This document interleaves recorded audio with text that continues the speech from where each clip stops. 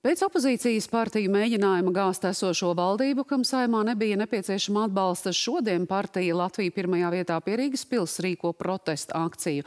Aktīvi tajā iesaistījušies arī partijas stabilitātei pārstāvi.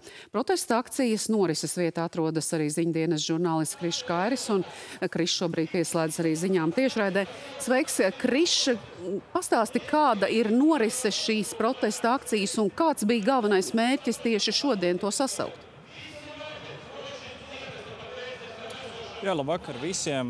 Kā redzams, protesta akcija sākās 19. un norit vēl šobrīd pasākuma dalībnieks uzrunā gan galvenā organizatora Latvija pirmajā vietā līderi, gan arī stabilitātei līderi uzrunas gan latviešu, gan krievu valodā. Atbildot uz jautājumu, šobrīd noskaņojums miermīlīgs, bet tajā pašā laikā kaujiniecisks ar galveno vēstījumu atlaist saimnu. Ļoti daudziem cilvēkiem arī manāms uz teikrakliem tieši šis vēstījums atlaist saimnu. Tāpat redzam arī dažādi veidi karogi, gan Latvijas karogi, gan arī stabilitātei šī raksturīgā oranžā krāsa, arī šāda veida karogi redzam. Tāpat arī citas opozīcijas partijas ir atsaukušās šim aicinājumam, nu, piemēram, tautas varas spēks saimā šobrīd nēsošs politisks spēks. Bet jā, galvenais mērķis nodot šo aicinājumu atlaist saimu. Pirmkārt jau nākamajam valsts prezidentam Edgaram Rinkevičam, jo tieši viņš varētu šādu procesu rosināt. Uz to cer Latvija pirmajā vietā un stabilitātei. Nu, ja nē, tad Ainārs Šlesers, Latvija pirmajā vietā līderis, ir apņēmies arī rosināt, vākt pietiekami daudz parakstu, lai to izdarītu. Kāda ir galvenie iemesli, kādēļ šobrīd tāda neapmierinātība? Pirmkārt, tas ir valdības darbs.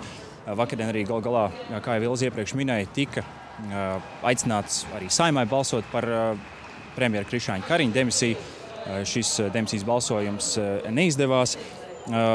Galvenās tēmas - izglītība, tiek piesaukta daudz cilvēku emigrācija, arī valodas jautājumi to starp.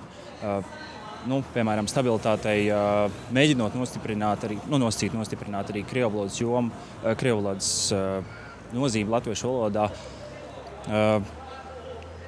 Un tāpat, ko vēl var pateikt, arī situāciju uz vietas kontrolē šobrīd policisti. Viss miermīlīgi, pagaidām vismaz, cik man redzēts, nav bijis policijai jāiejaucas un pasākumu apmeklē, nu, protams, grūti saskaitīt uz vietas, bet noteikti ir vairāki simti uh, cilvēku.